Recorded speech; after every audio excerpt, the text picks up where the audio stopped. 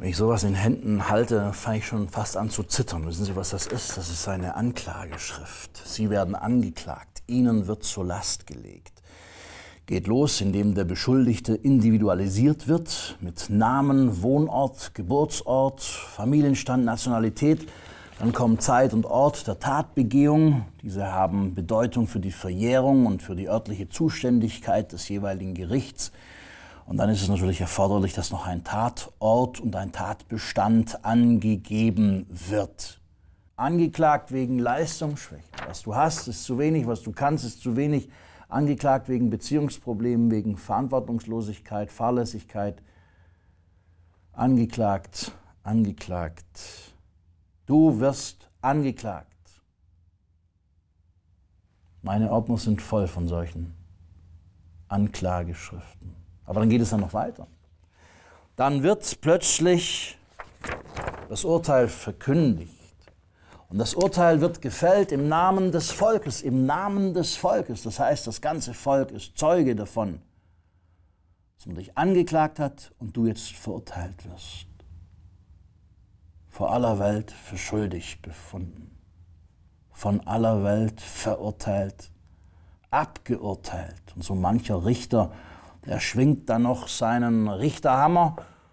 In amerikanischen Gerichtssälen ist der Richterhammer essentiell, kommt immer wieder zum Einsatz, wenn der Richter um Ruhe bitten will oder um Aufmerksamkeit zu schaffen.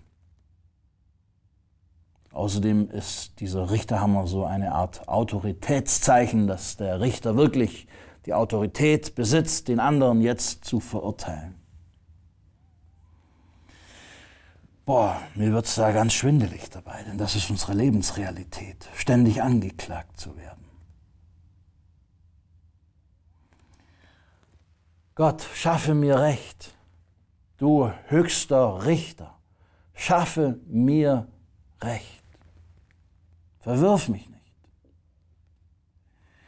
Wenn äh, im Hebräischen von Urteilen die Rede ist, von Recht schaffen, dann steht da das hebräische Wort Schafat. Und wir denken dabei sofort an das deutsche Wort Schafat.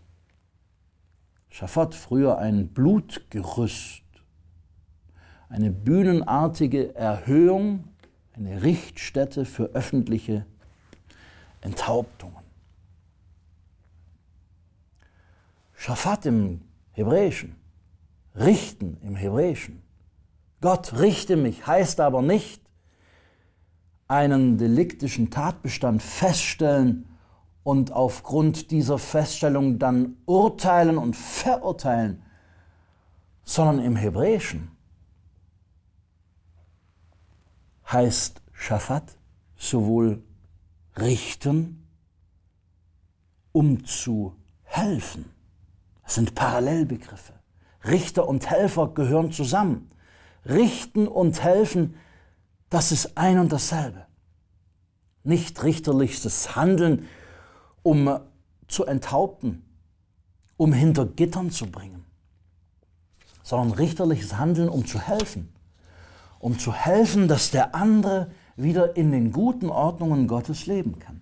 Deshalb gibt es die Torah vom Richter Lebenszeichen, Lebensanweisungen, Lebensgesetze, nicht Strafgesetze, Anordnungen, die zu Ordnungen verhelfen wollen. Schaffe mir Recht, Gott. Führe meine Sache. So heißt es ganz oft in den Psalmen, so heißt es ganz oft in den verinnerlichten Gebeten des jüdischen Volkes.